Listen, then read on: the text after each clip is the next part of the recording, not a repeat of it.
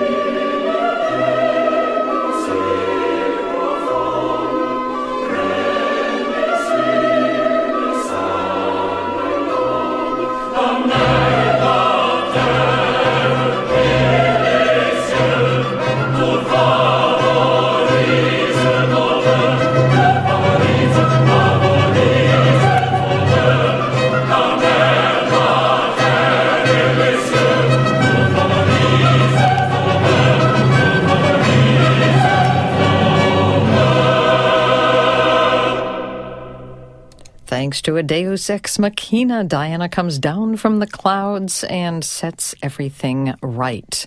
In this performance of Iphigenie en Tauride by Christoph Willibald Gluck, Christine Goerke was Iphigenie, Rodney Gilfry, her long-lost and newfound brother Orest, Vincent Cole as Pylades, his best friend, Stephen Salters as King Thoas, and others joining the Boston Baroque Chorus and Orchestra led by Martin Pearlman. That a Telarc recording for you here on Viva la Voce as our opera encore.